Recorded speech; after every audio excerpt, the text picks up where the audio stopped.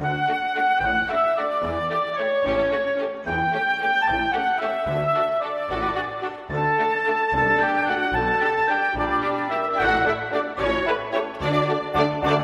welkom bij Terug naar Toen. Het Sportfondsenbad, het zwembad Tialf, het zwembad Klarenbeek. Elke wat oudere Arnhemmer is daar wel eens geweest. Maar u moet al heel ver op leeftijd zijn als u ook nog in het Rijnbad heeft gezwommen. Wij nemen vandaag samen met u een frisse duik in deze zwembaden. Wij nemen u graag mee terug naar Toen.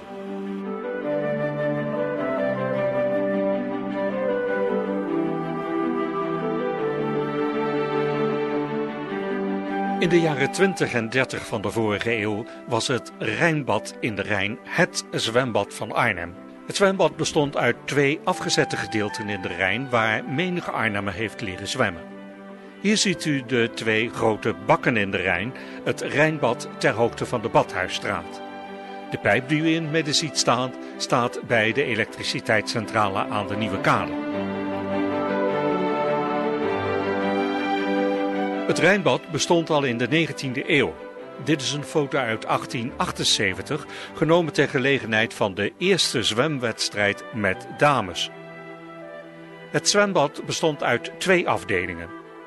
Het zwembad voor vrouwen en meisjes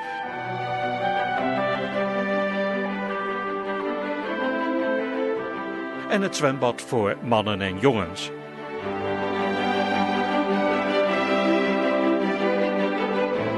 Generaties Arnhemse jeugd heeft hier de eerste zwemlessen ontvangen van de toentertijd bekende badmeesters Volmer en Hengeveld.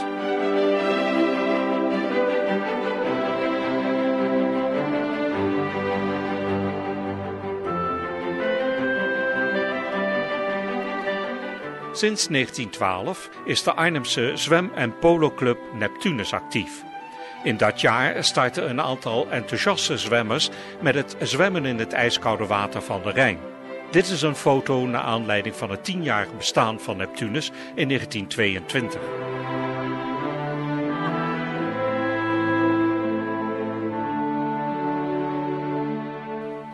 In het Rijnbad werden regelmatig zwemfeesten georganiseerd door bijvoorbeeld de Arbeidersjeugdcentrale, het AJC. En dan het Sportfondsenbad. Dit overdekte zwembad aan de Boekhorstenstraat werd in 1932 gebouwd. De badinrichting was uiterst modern en had een eigen pompinstallatie die was aangesloten op een ondergrondse bron. Voor de bouw van dit zwembad moest ruimte gemaakt worden in Spijkerkwartier en daarom werden de gehele Buurtstraat en de Kipstraat gesloopt. Begin jaren 20 streefden enkele leden van de Amsterdamse zwemclub, het EI, naar de oprichting van een eigen overdekt zwembad. Zij richtten daarvoor de NV de sportfondsen op, waar spaarders hun geld konden beleggen. In 1927 was er in Amsterdam genoeg gespaard om het Amsterdamse Sportfondsenbad te kunnen gaan bouwen. Het succes in Amsterdam werkte aanstekelijk en er werden in diverse plaatsen spaarkassen opgericht, zo ook in Arnhem. In Arnhem kon met dit gespaarde geld in 1933 het tweede sportfondsenbad van Nederland geopend worden. Het sportfondsenbad werd een overdekt zwembad met een open schuifbaar dak. Op deze opname uit de dertiger jaren is duidelijk te zien dat het dak open is.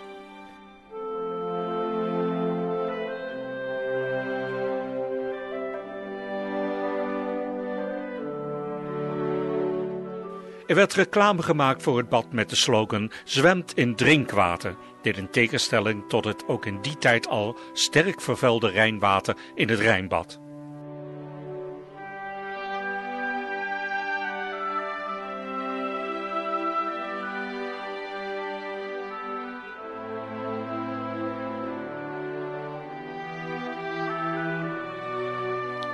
De zwemvereniging Neptunus verlegde al snel haar activiteiten van het Rijnbad naar het Sportfondsenbad.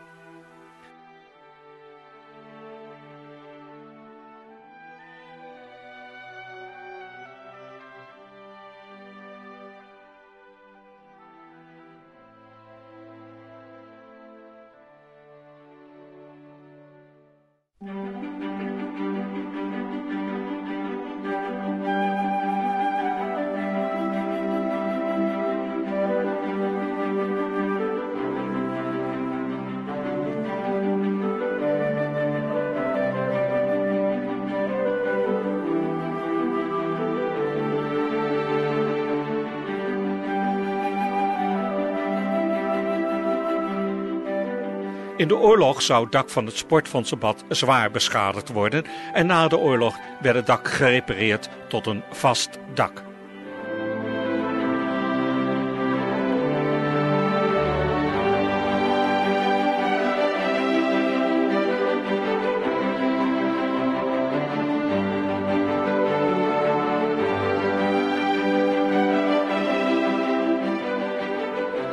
Het Sportfondsenbad raakte in de jaren 80 op zijn retour en ook de naamsverandering in zwembad Rietebeek kon daar geen positieve draai aan geven.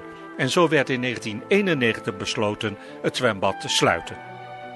In 1993 zou het Sportfondsenbad definitief gesloten worden en werd het zwembad een plek waar je kon hengelen naar forellen.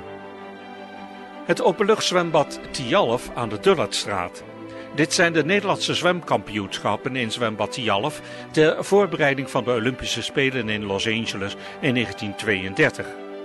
Dit zwembad werd in datzelfde jaar 1932 gebouwd op het terrein van de voormalige ijsclub Tialf. Het zwemcomplex bestond uit een kleedgebouw, een bassin voor peuters, een oefenbad en een bad voor geoefenden. In die tijd waren de baden nog gescheiden in dames- en herenafdelingen. Maar ook dit bad raakte in het slop en in 1988 is het bad gesloten en werd het terrein ingericht als kinderspeelplaats.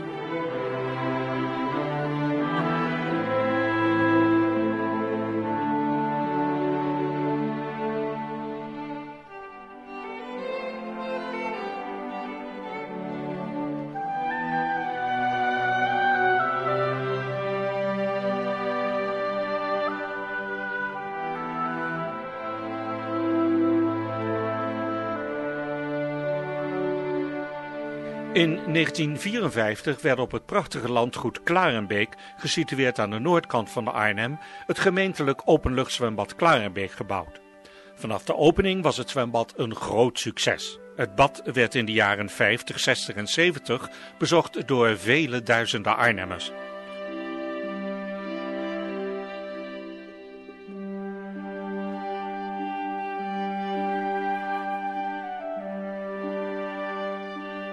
Op mooie dagen krioelde het dan ook van vrolijke badgasten. Helaas raakte het bad in de jaren 80 door externe omstandigheden tijdelijk in verval. De gemeente beschikte niet meer over voldoende middelen om aan de hoge onderhoudskosten te voldoen. Het onvermijdelijke gebeurde, het openluchtzwembad Klarenbeek werd gesloten. Veel Arnhemmers kwamen in opstand tegen de sluiting, met succes. Want de gemeenteraad besloot op 4 november 1991 jaarlijks 5 ton uit te trekken voor herkansing van het fraaie opluchtbad.